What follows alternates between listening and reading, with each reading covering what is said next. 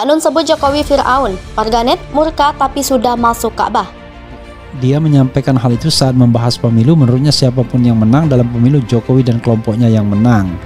Negara kita sesempurna dicekal oleh Fir'aun, Haman dan Korun.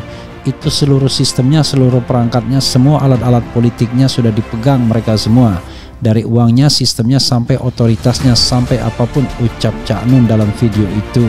Tuduhan langsung bertubi-tubi datang kepada MH Ainun Najib disebut sebagai antek cendana lah gitu ya. Kemudian orangnya Soeharto dan sebagainya. Padahal kita lihat Cak Nun itu tidak punya kepentingan apa pun. Cak Nun hanya menyampaikan apa yang menjadi pikiran dan isi hati rakyat jelata.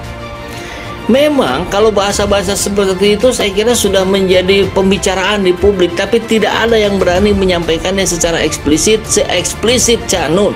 Itu adalah kritik. Tidak bisa kemudian langsung dikatakan itu sebagai penghinaan. Karena tidak tidak sifatnya fisikal tapi dia melihatnya sebagai sebuah watak dari kekuasaan.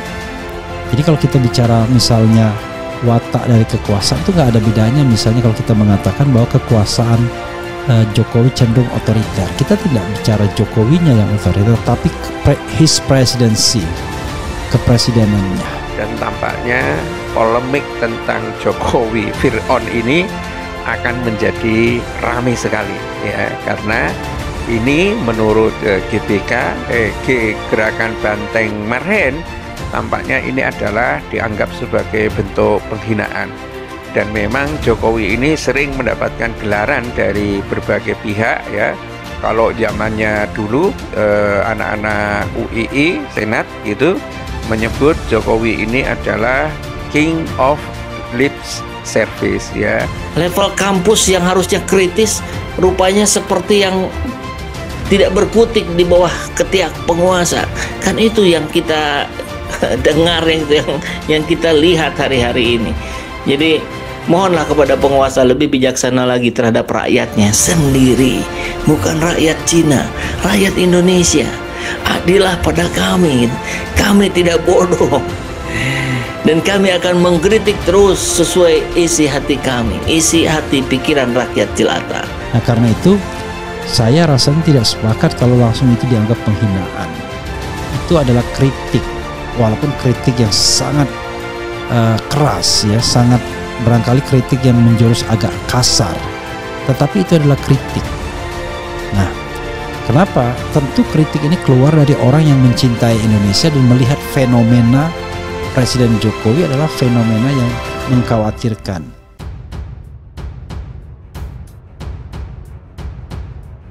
Budayawan MH Ainun Najib atau yang lebih dikenal dengan nama Cak Nun belakangan menjadi bahan perbincangan warganet. Hal ini tak lepas dari statementnya dan kontroversial yang memantik kemarahan publik. Sebagaimana yang terdapat dalam sebuah video unggahan akun Twitter @putrisakera, sang pemilik akun mengunggah video berisikan ceramah Cak Nun yang mengandung kontroversi. Dalam video berdurasi 58 detik tersebut, tokoh sentral jamaah ma'iyah tersebut kedapatan tengah memberikan ceramah seperti biasanya. Namun sayangnya, berbeda dengan ceramah Cak Nun yang selama ini membuat teduh, ceramah kali ini syarat dan statement-statement negatif yang ditujukan kepada sosok Presiden Joko Widodo. Jelas saja apa yang diucapkan oleh Cak Nun tersebut memantik amarah warganet. Bahkan tak sungkan-sungkan mereka yang dulunya begitu menghormati sosok Cak Nun kini menjadi berbalik dan antipati terhadap beliau. Selain itu, dari beragam komentar yang dituliskan oleh para pengguna Twitter, tak sedikit pula yang membela tokoh karismatik tersebut dan menjelaskan bahwa yang bersangkutan telah meminta maaf secara terbuka. Cak Nun sebut Jokowi Fir'aun, warganet murka tapi sudah masuk Ka'bah. Budayawan MH Ainun Najib atau yang lebih dikenal dengan nama Cak Nun belakangan menjadi bahan perbincangan warganet. Hal ini tak lepas dari statementnya dan kontroversial yang memantik kemarahan publik. Sebagaimana yang terdapat dalam sebuah video unggahan akun Twitter @putrisakera, sang pemilik akun mengunggah video berisikan ceramah Cak Nun yang mengandung kontroversi. Dalam video berdurasi 58 detik tersebut, tokoh sentral jamaah ma'iyah tersebut kedapatan tengah memberikan ceramah seperti biasanya. Namun sayangnya, berbeda dengan ceramah Cak Nun yang selama ini membuat teduh, ceramah kali ini syarat dan statement-statement negatif yang ditujukan kepada sosok Presiden Joko Widodo. Jelas saja apa yang diucapkan oleh Cak Nun tersebut memantik amarah warganet. Bahkan tak sungkan-sungkan mereka yang dulunya begitu menghormati sosok Cak Nun kini menjadi berbalik dan antipati terhadap beliau. Selain itu, dari beragam komentar yang dituliskan oleh para pengguna Twitter, tak sedikit pula yang membela tokoh karismatik tersebut dan menjelaskan bahwa yang bersangkutan telah meminta maaf secara terbuka. Cak Nun sebut Jokowi Fir'aun, warganet murka tapi sudah masuk Ka'bah. Budayawan MH Ainun Najib atau yang lebih dikenal dengan nama Cak Nun belakangan menjadi bahan perbincangan warganet. Hal ini tak lepas dari statementnya dan kontroversial yang memantik kemarahan publik. Sebagaimana yang terdapat dalam sebuah video unggahan akun Twitter @putrisakera, sang pemilik akun mengunggah video berisikan ceramah Cak Nun yang mengandung kontroversi. Dalam video berdurasi 58 detik tersebut, tokoh sentral jamaah Ma'iyah tersebut kedapatan tengah memberikan ceramah seperti biasanya. Namun sayangnya, berbeda dengan ceramah Cak Nun yang selama ini membuat teduh, ceramah kali ini syarat dan statement-statement negatif yang ditujukan kepada sosok Presiden Joko Widodo. Jelas saja apa yang diucapkan oleh Cak Nun tersebut memantik amarah warganet. Bahkan tak sungkan-sungkan mereka yang dulunya begitu menghormati sosok Cak Nun kini menjadi berbalik dan antipati terhadap beliau. Selain itu, dari beragam komentar yang dituliskan oleh para pengguna Twitter, tak sedikit pula yang membela tokoh karismatik tersebut dan menjelaskan bahwa yang bersangkutan telah meminta maaf secara terbuka. Cak Nun sebut Jokowi Fir'aun, warganet murka tapi sudah masuk Ka'bah. Budayawan MH Ainun Najib atau yang lebih dikenal dengan nama Cak Nun belakangan menjadi bahan perbincangan warganet. Hal ini tak lepas dari statementnya dan kontroversial yang memantik kemarahan publik.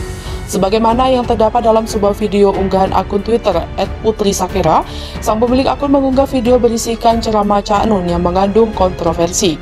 Dalam video berdurasi 58 detik tersebut, tokoh sentral jamaah Ma'iyah tersebut kedapatan tengah memberikan ceramah seperti biasanya. Namun sayangnya, berbeda dengan ceramah Cak Nun yang selama ini membuat teduh, ceramah kali ini syarat dan statement-statement negatif yang ditujukan kepada sosok Presiden Joko Widodo. Jelas saja apa yang diucapkan oleh Cak Nun tersebut memantik amarah warganet. Bahkan tak sungkan-sungkan mereka yang dulunya begitu menghormati sosok Cak Nun kini menjadi berbalik dan antipati terhadap beliau. Selain itu, dari beragam komentar yang dituliskan oleh para pengguna Twitter, tak sedikit pula yang membela tokoh karismatik tersebut dan menjelaskan bahwa yang bersangkutan telah meminta maaf secara terbuka. Cak Nun sebut Jokowi Fir'aun, warganet murka tapi sudah masuk Ka'bah.